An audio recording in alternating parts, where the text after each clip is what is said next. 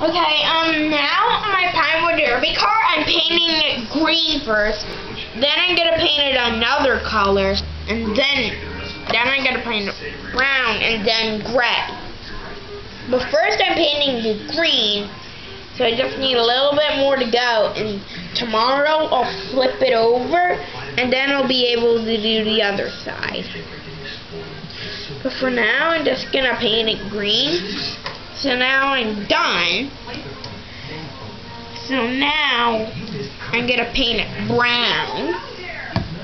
Mom.